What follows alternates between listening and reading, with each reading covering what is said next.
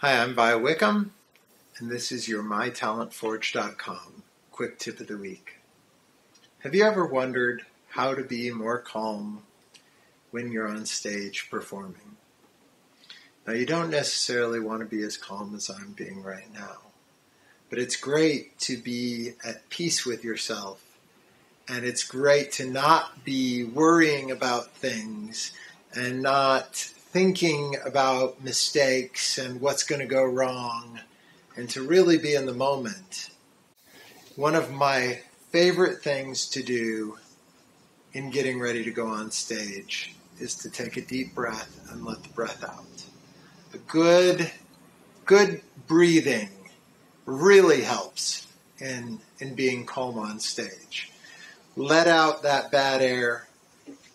The next thing is, is to remember that the audience wants you to succeed. The audience is there because they care about you. They love you. They want you to be awesome.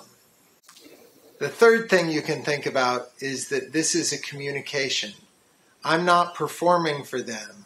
I'm not trying to show them how awesome I am. All I'm trying to do is communicate to them with some music. Because that's what this is. Music is a communication. You know, my music is not a performance as much as it is a communication. So, those are three quick tips for you.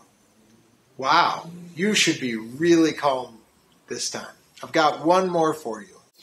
I use a technology called binaural beats sometimes. You can check it out. I'll have a link to uh, Gnaural, which is a free binaural beats uh, app for computers. There's also apps for other devices. But binaural beats is a way that you can put yourself in a calm, relaxed state of mind.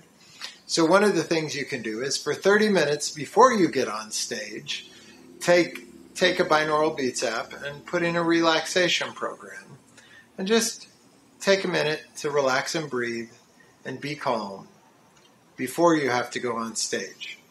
So be prepared, have fun, have a great time knowing that the audience is there to support you. And I'll see you next time. Have a great day.